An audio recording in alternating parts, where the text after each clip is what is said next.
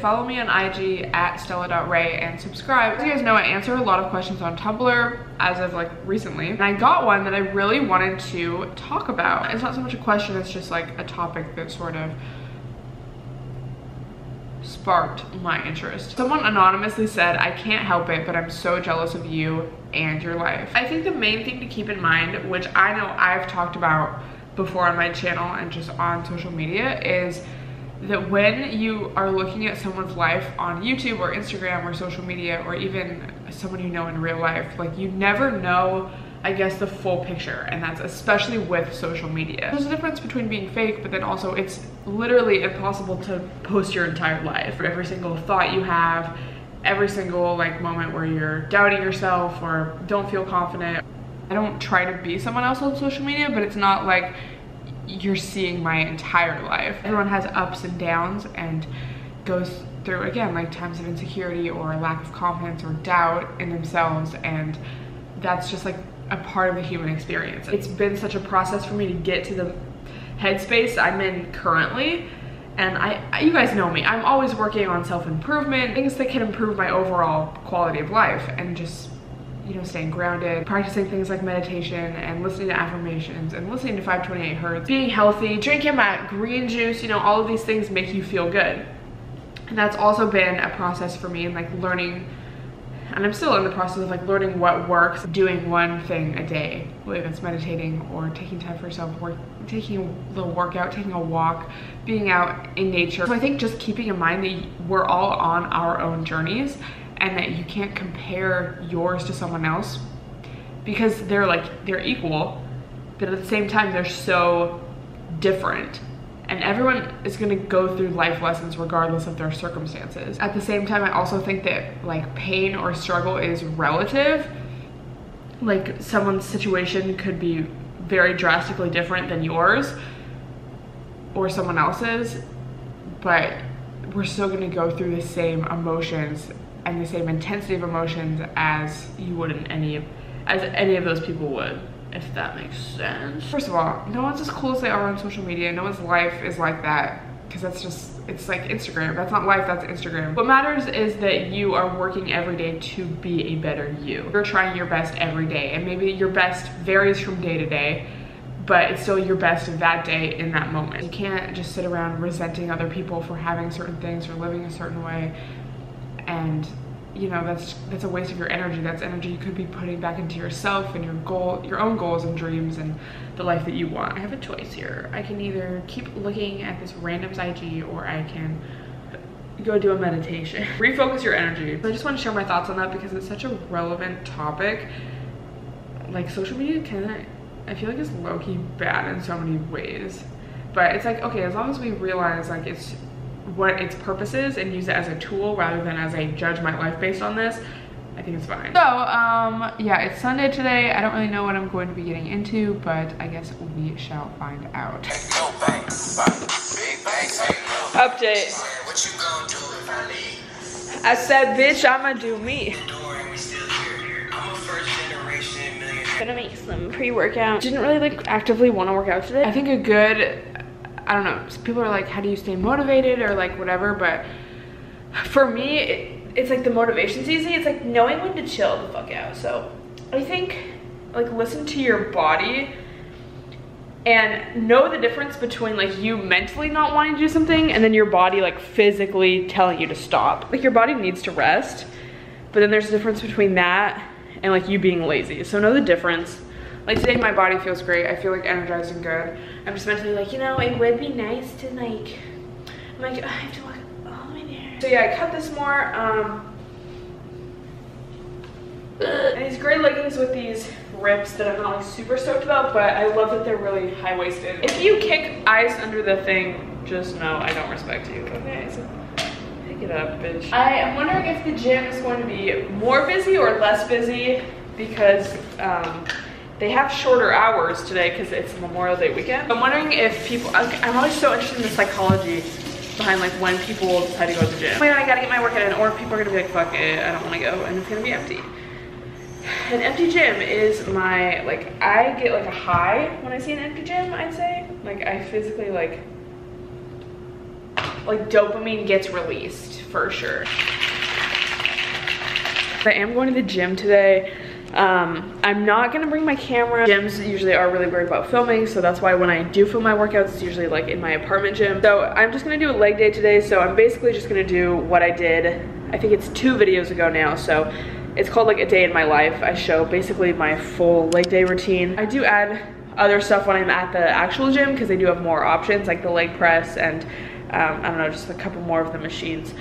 But it's pretty much the same idea. I do legs two to three times a week, but usually three times a week. And I do a day for back and a day for arms. I don't know, it's like I wanna like build it up obviously, but my main focus is ass and legs. Let me know if you have any questions on how I really started building it because it's definitely been a lot of trial and error, but I'd say the main things that have really sped up the progress these past couple months. Let me just like talk about this for a second. I would never squat before because I was like low-key scared.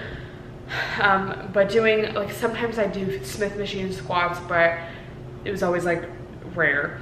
So I, I'd say the main things that have really sped up my growth is finally getting over my fear of squats and doing that. I've been doing that for like a few months now. Um, and doing legs like three times a week. Monday, Wednesday, Friday, or like Monday, Wednesday, Saturday, you know, I take a rest day. Eating a lot more protein and being more aware of my macros. Eating like more, but also being aware of like what I'm eating. So I, I would suggest Cronometer or MyFitnessPal, just kind of like tracking, keeping it in mind. Really is just about your muscle-mind connection because if you're just like doing your exercises and you're just like, okay, whatever, I wanna get this over with, I don't know, it's it's so different than when you're actively focusing on the exercise, trying to like pay attention to your forms super well and keeping the muscles that you're trying to activate in mind. Like it makes the biggest difference. Really focusing on my form, like core strength, tightening my core, having good posture, all of these things really come together. I look back at just like what I used to do or used to think and like, it's like LOL. That's part of the process and I'm sure like a few months from now I'll be like, oh my God, I can't believe I wasn't doing this or like, I thought this, like whatever. I feel like it is pretty simple once, once you have the basics down.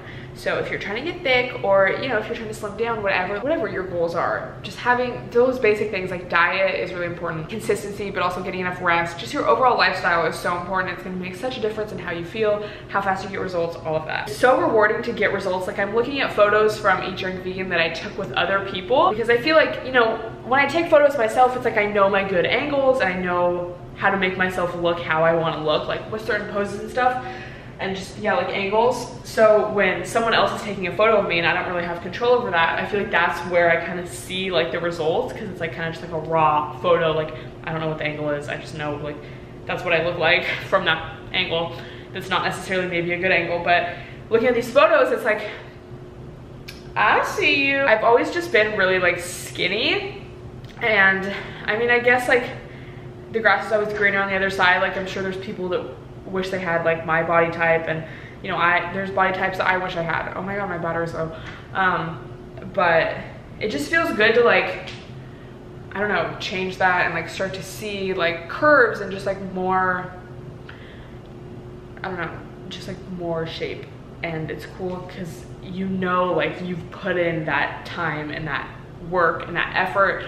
And it's cool to like see results. It's the most rewarding feeling ever. Or like not even just like my legs and stuff, but like even just like with my arms, my back, like everything. It's kind of a, almost like a metaphor for the rest of life too, and just like goals in general, not even fitness, but it's like, it's really what you do every day. And like I was saying earlier, if you put your all into something every single day, like do try your best every day, that's when you see results. Like we just want those instant results, but that's not like possible.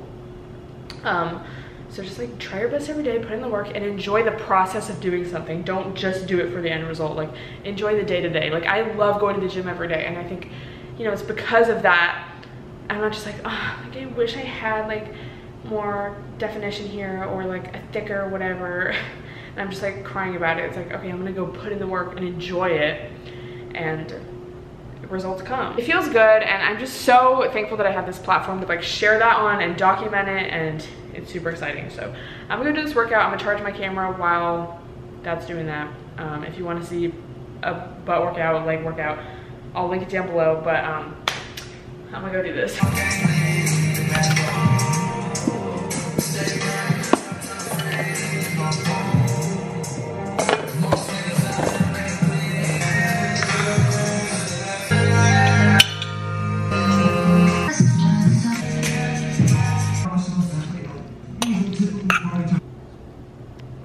Heavy. What's up guys? I've just had like a very chill day of editing vids, being responsible. So what do I do at night? What do I do when I go to bed so early? No, but I thought I would um, just like share some musical faves of mine because I do get asked a lot like, what do I listen to? So I was just like listening to music. My favorite is like when people have a, like no shade, no tea, okay? But my favorite is when people have like a tattoo of like a music note and they're like, I got it because I love music. A lot of people are often surprised by my music taste, but I feel like my music taste is very basic. I feel like they expect it to be basic in a different kind of way. Like, y'all know me from 2015. Like, I'm the same bitch, 2014, 2015. Like, I still get down to a party next door. Yeah, I just listen to a lot of like pretty mainstream rappers. Let me give you a tour of my Apple Music. I'm also gonna turn off the dishwasher for now. Okay. Ew, it's like, who are these randoms? Okay, that's me. Okay, so I have a playlist. This is probably my most listened to playlist. It's called We Love a Little Affirmation. I like to listen to this when I'm at the gym. But yeah, I just kind of like add songs as I go, but it's just a lot of like basic songs that like would pump you up if you were like trying to get thick.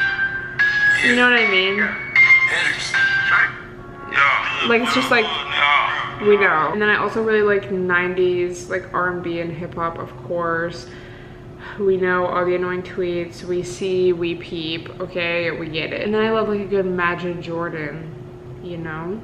A good Frank Ocean. So yeah, I just say a little of everything. I don't really have a lot of like really top songs I'm listening to right now. I just kind of listen to my playlist or like, like, same.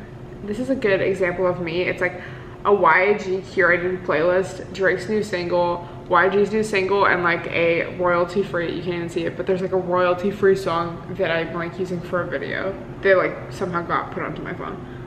If you wanna peep, um, I don't know, if you don't have Apple Music, can you still like view a, a playlist? I don't know, but I'll link a couple of my favorites down below. I do have a good variety even though I do have a specific taste. I'm low-key, very low-key hungry, so I might just eat like some fruit or something. So my nighttime routine is like I'll like chill on my phone, then I try to put my phone away, you know, not really look at it. Maybe I'll take a shower, depends, or I'll like at least, you know, do my nighttime skincare routine. Listen to affirmations while I do that. Listen to 528 Hertz, do a little journal. Sitting with your legs like up the wall is really great too. Um, but I do all of that and I don't know, it's just so, it helps so much to just change your mindset and have a good night's sleep and yeah.